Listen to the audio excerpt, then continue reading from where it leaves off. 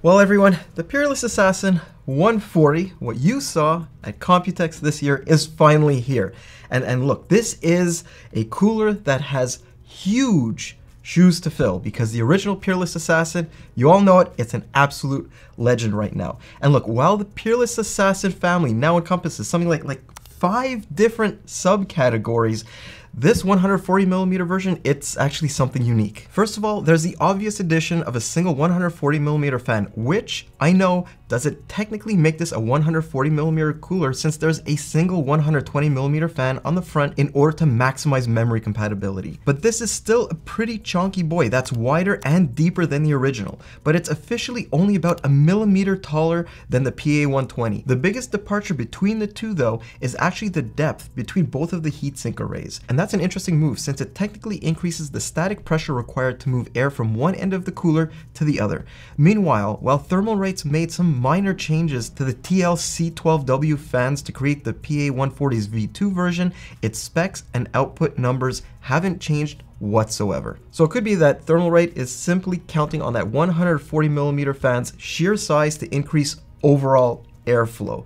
But we're just gonna have to see if that sort of pans out in the performance results. But you know what else could give you a lot of performance? If you're looking for an AIO, check out this one from Montech. Montech with another insane value product, the Hyperflow ARGB AIOs, available in black or white, 240 or 360 sizes, with full platform compatibility and friendly tools along the way that not only look gorgeous with pump lighting and matching blade illumination, but also performance that should satisfy with any hot silicon thanks to high-speed fans, high-density fins on the rad, a good pump, and daisy-chained fans for easy cable management, all backed by the 6-year warranty, so you don't have to worry. Check it out below. Anyways, jumping right back into the PA140, I want to talk about the fin arrays because you might not be able to see it right now on camera, but they are very, very unique to this cooler and they are completely different from anything that Thermalright has done before. From the side, they look like an expanded version of the ones from the Frost Commander, while from face on, there's a distinct similarity between this cooler and the upcoming Royal Praetor. So look, I wouldn't be surprised if there was some sort of like hallelujah moment within Thermalright's engineering team when it came to designing one of these heat sinks and they said, look, this fin array is going to be going to all of our high-end coolers. So we should actually see it potentially permeate upwards and downwards within their entire lineup very, very soon. And while those towers do have cutouts to improve memory compatibility, the fact of the matter is some modules will still need some upwards fan movement, and that will increase the PA140's overall height. But other than the towers, the rest of the cooler is pure Peerless Assassin, with six 6mm heat pipes that angle down into a nickel-plated copper base. One other thing that's changed, and I know this is minor, but on the last Assassin, I commented that the cooler and fans were two different shades of white. Well, this one, they're almost identical. Thank you so much, Thermalright. And yet I also feel like there's a bit of a missed opportunity here. While other manufacturers like Noctua have started curving their heat pipes away from the GPU for more clearance, I mean, even the original PA120 did it, this one doesn't. So this looks like Thermalright just slapped some bigger updated cooling towers onto six heat pipes and called it a day. So while we didn't encounter any issues whatsoever installing this into the systems that we're testing in, even with some GPUs with a thicker backplate, there still could be some installation issues in certain cases. So I can't take that out of the way completely simply because this is a wider cooler. Now speaking of installation, that's one area that Thermalright has made some really minor changes. With the AGHP Gen 4 system, there's now native support for LGA 1700. And no, the first Peerless Assassin didn't actually come with that. And there's also some color-coded standoffs for both Intel and AMD systems, so the installation process is a bit more straightforward than the original. They've also eliminated a lot of the additional washers from the previous kits, so there's just less stuff to search out for in the installation kit. So I guess the million dollar question in all of this is what is the PA140's price? Well, Thermalright has sort of planned their lineup around it.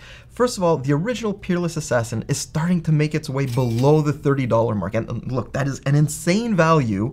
And after you see the rest of the results here, you might want to actually jump on that one. Meanwhile, the 140mm version in white and black will set you back about $40. Meanwhile, there is going to be an upcoming version that's a little bit cut down to $35 and the only difference for that one will be you don't get a solid color on the heat sinks. It's going back to those aluminum heat spreaders. Other than that, it's basically going to be the same cooler with the same performance. So very much like those SE versions that we've seen from other heatsinks from Thermalright. And look, if you peer a bit deeper into the Thermalright lineup, this causes an even bigger logjam with just an endless number of air coolers all clustered within $20 of one another. But supposedly this is going to be getting cleared up with the Royal Praetor series potentially replacing the Frost Spirit and Frost Commander lineups, while there's still going to be some overlap in the Assassin and Phantom Spirit lineups. But in my conversations with Thermalright, one thing is completely clear. The PA-140 isn't meant to be a D15G2 killer. That'll be the job of the Royal Praetor series. Supposedly it won't even beat the PA-120 by all that much when both are running full tilt or under PWM conditions. What this large larger assassin is meant to do is dominate its smaller sibling in decibel normalized conditions. That means it will offer better cooling at a given noise level. So ironically, or maybe not ironically, it almost seems like Thermalright has designed this cooler for us because our tests tend to favor coolers that do better under noise normalized conditions. We don't care what they do at full chooch factor and we really even less care about how they operate under PWM conditions. So with that in mind, let's sort of step back from actual performance testing first and talk about acoustics because what we're going to do now is listen to what this thing actually sounds like and also compare its fan curve to the original Peerless Assassin.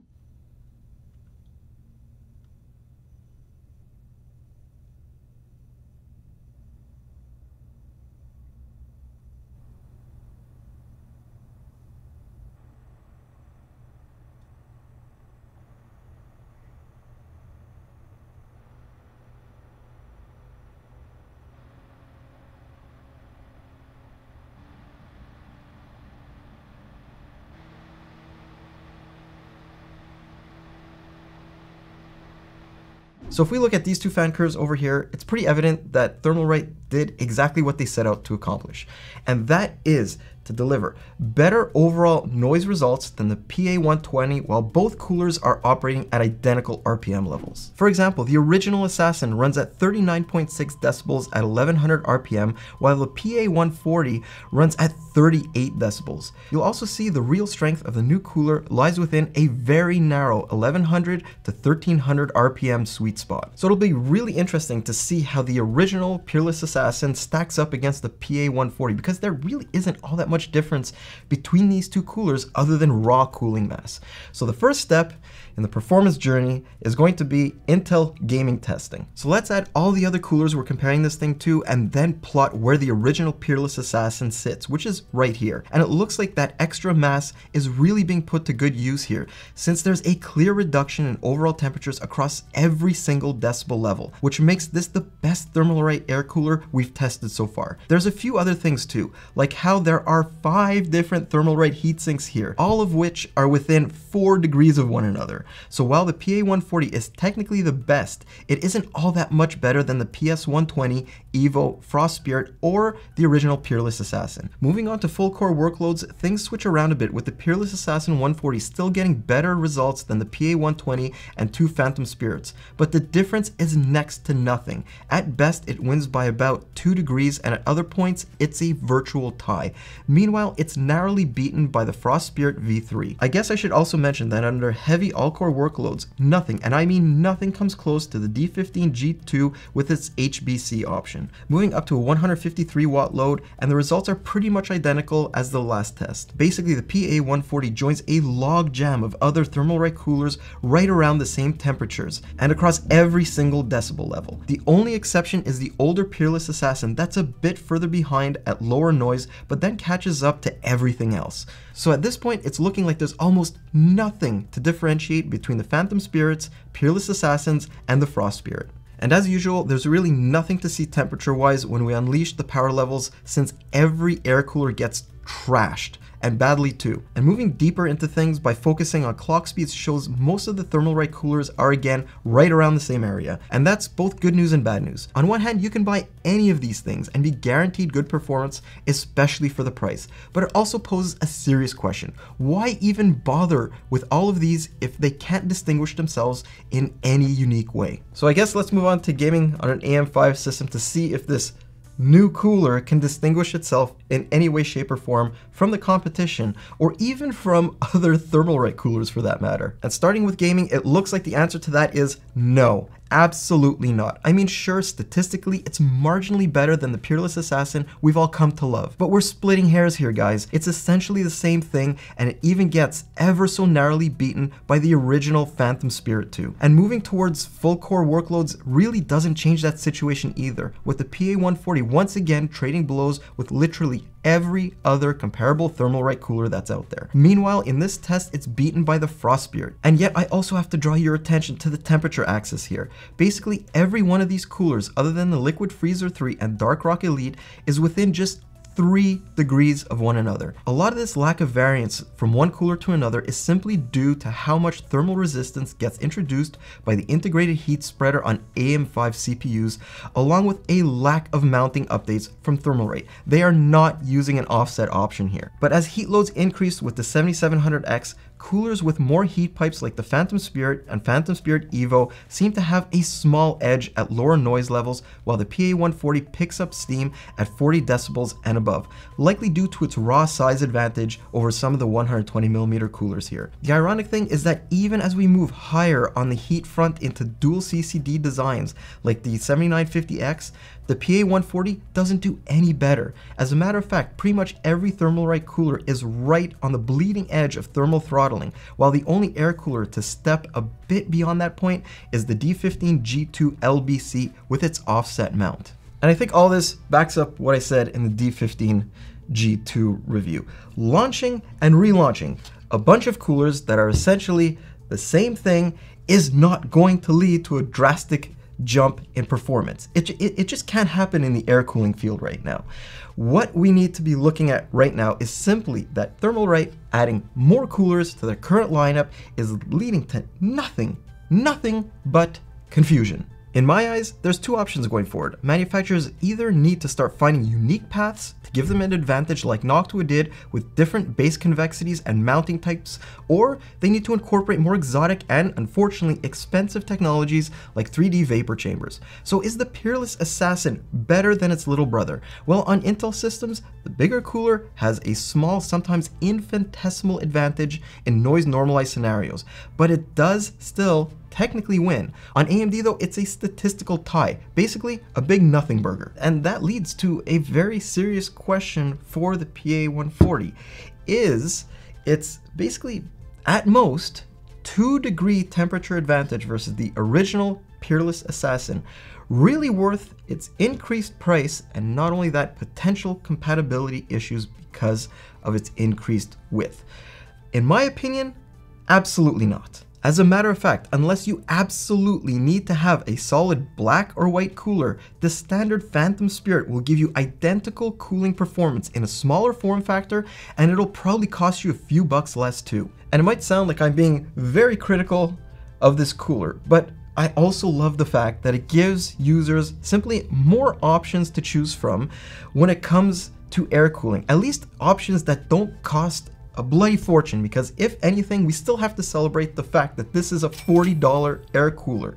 That that's that's just such still a breath of fresh air for everyone. But ultimately what I'm hoping this leads to is the path forward for Thermalright to simply clean up their lineup a little bit. I'm hoping that this, the Peerless Assassin series as a whole, as well as the upcoming Royal Praetor series allows them to sort of like pare down the amount of offerings that they have and really segment them into certain performance categories rather than all of this crazy overlapping. But we're just gonna see how that plays out in the rest of the year. So anyways, I'm Mike with of Canucks. I hope you enjoyed this video and I'm going to see you in the next one. Have a great day, guys.